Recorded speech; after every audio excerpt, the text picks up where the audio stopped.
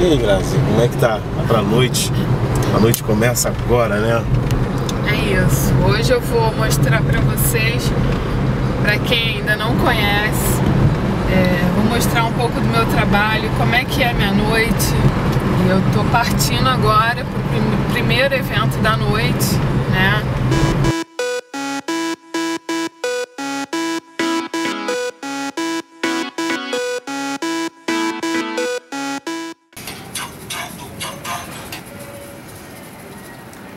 Surgiu a DJ Grazi?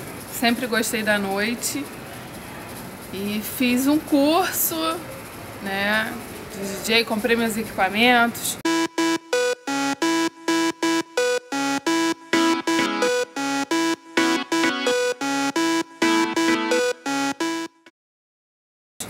Comecei a fazer eventos em casa, em festinhas de amigos e, e depois fui convidada a participar dos eventos de grandes casas de shows, é, boates, comunidades. E aí surgiu a DJ Grazi no mundo do funk.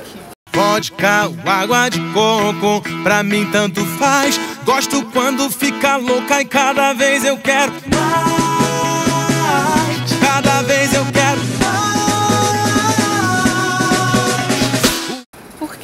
Funk? Porque eu quis quebrar um preconceito que hoje o funk, o funk é cultura, né? reconhecido mundialmente e tá em, em, todas, está em todas as classes sociais. Ou água de coco, pra mim tanto faz. Eu já tô cheio de tesão e cada vez eu quero mais.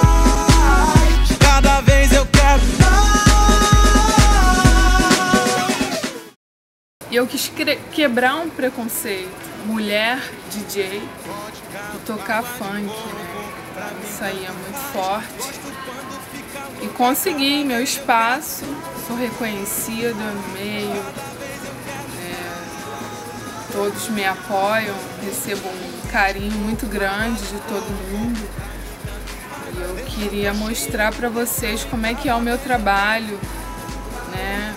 É, minha noite, rotina do dia a dia. O funk, ele sofreu muito preconceito um tempo atrás. Foi como o samba, né? Mas hoje o samba é reconhecido, o funk está sendo reconhecido. Tanto hoje em dia é uma cultura popular carioca está sendo bem aceito em todas as classes sociais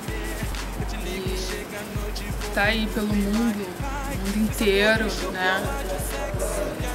Temos provas disso, vários MCs estão em outros países, vários DJs viajando, mostrando o, o nosso funk.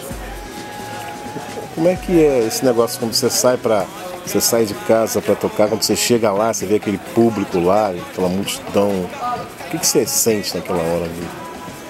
eu sinto uma vibe muito grande e na hora que eu né, me apresento.